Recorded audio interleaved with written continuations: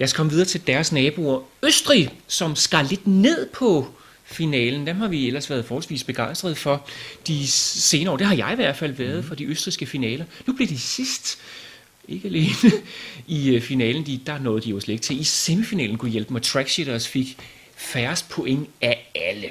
Måske er det derfor, at, at Østrigerne skar lidt ned. Der var kun fem indslag i vores østrigske finale. Vinderen blev Natalia Kelly, eller Natalie Kelly med Shine.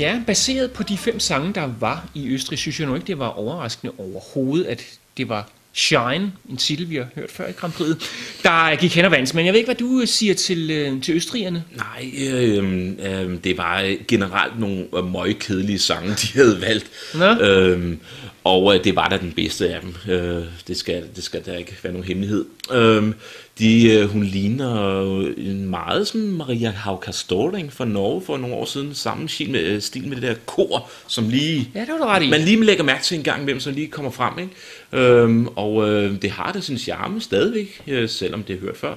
Øhm, men jeg synes bare, at nummeret er en lille smule kedeligt. Det går lidt i, i, i lidt... Der, der, der er lidt langt mellem, tøj, mellem snapsen her. Øh, men jeg synes, hun er nydelig. Jeg synes, at hun synger ganske pænt. Men hun er måske lidt kedelig at se på. Jeg, jeg giver tre stjerner til, Er til der Østrig. babe-faktor i år? Du plejer jo at give point til øh, lange så tjekkiske der lamseben. Jamen, nej, så skal der også være lidt silikone med også. Det ved jeg jo. der er rigtig smagfuldt derovre fra. Nå, øh, hvad siger du? Tre point? Ja, tre styks. Nå, jamen øh, jo, øh, igen frygtelig enig, Carsten. Jeg er meget øh, ked af at sige det. Øh, igen faktisk en af de sådan, lidt mere øh, hederlige solister. Hun kan da synge hende her. Hun er vist også en Idols-deltager. Jeg tror faktisk, hun er vinder oven i købet. Talentfis, et eller andet. Kan vi, kan vi ikke sige, at vi nævner, hvis det ikke er nej? Ja, det er efterhånden uh, reglen, undtagelsen, ja. at, uh, at, uh, at det er en eller anden uh, talentdeltager, man hiver frem fra, fra de støde skuffer. Uh, hun er ikke så gammel hende her, så så støde må de da heller ikke være. Kelly her, Shine fra Østrig, tre point får hun. Øhm, for os fra den danske semifinal rent faktisk. Hun øh, er sådan en af dem, jeg tror godt lige kan klemme sig med mm. i finalen. Fordi den her type sang er der ikke så mange af, lige sådan som jeg kan huske. Sådan lidt Motown. Ja, netop Maria Hauke Storing inspireret, men tre point til Østrig. Ja. Personligt er jeg ikke super begejstret, men den skal der nok få sine tilhængere, den her. Tror jeg. Ja. Godt, mere er der ikke at sige til Østrig. Punktum. Lad os sige tak for i dag med det sidste bidrag, vi skal hilse på i dag. Irland er det 11. og sidste indslag i dagens lange gennemgang. Irland, som jo skulle forsøge noget andet end Jetbot, det er jo helt uvandt for dem. De har været med de senere på år, Jetbot. Nu var der også ligesom Østrig fem sange at vælge mellem. Og denne gang var det lidt mere uforudsigeligt, for hvem skulle dog vinde? Det endte med at være fyren her, Ryan Dolan, som vi hen vandt med sin egen sang, Only Love Survives. And even if the sun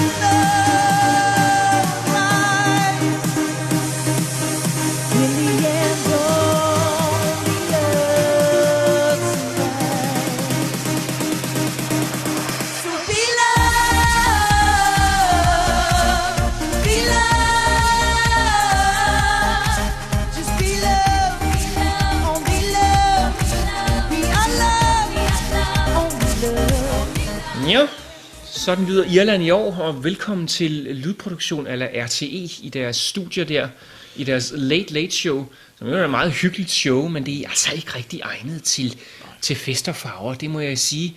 Det er meget tilbagelænet det hele, og jeg synes nu nok, at sådan et nummer som det her, som er som, som, som, som, som kræver lidt volumositet og kræver lidt, lidt ild og lidt farver, øhm, falder lidt igennem i sådan en tv-produktion.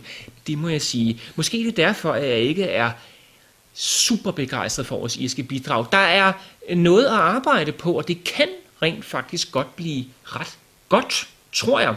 Fordi studiemæssigt er det ikke helt dumt fra Irland. Igen, ligesom Tyskland, et nummer, som øh, markerer en eller anden trend, der ligger der.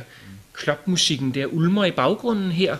Øhm, Live-vokalen er ikke skidegod for at være sådan helt øh, ærlig her. For Ryan Dolan, han er lidt stiv i betrækket. Han står der med øh, sit øh, gangstativ, skulle jeg til at sige, sit stativ der og vrikker lidt frem og tilbage, og så står der nogle lidt ubehjælpsomme danser i baggrunden, som både skal trumme lidt og også lave nogle spjætbevægelser. Ja, øh, der skal øves lidt. Derfor giver jeg tre point til Irland. Jeg er ikke, jeg er ikke helt op at køre lige i øjeblikket, men øh, der er noget at komme efter for Irland. Hvad siger du? Der er lavet en rigtig fed video til den her sang her. Ja. Og øh, den er god. Studieindspilning er rigtig fed, synes jeg. Mm. Øhm, og så lige 20 sekunder, så går vi bare amok med en eller anden kloptone. Ikke? Det Yes. gør det her nummer.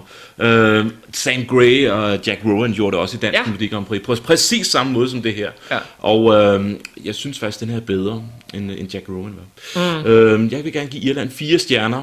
Øh, men øh, det er i et, et kampolage med Tyskland. Øhm, og det er jo her, hvor de jo kan ende med at dræbe lidt hinanden. Tyskland har stadig sin forsvar styr- for- frem på den her.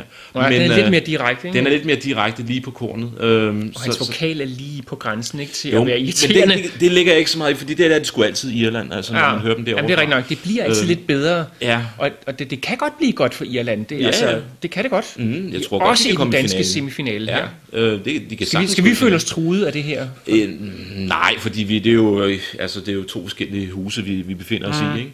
Øh, men, øh, men fire stjerner til Irland, mm. og øh, ja, en finaleplads, det er ikke uden, uden for rækkevidde. Nej, de har jo øh, været lidt mere op til, men de er jo kendt som balladeland nummer et. Det er jo efterhånden en del år siden, at de har prøvet det. Mm. Så de er også med på den her klopbølge. Det var Irland.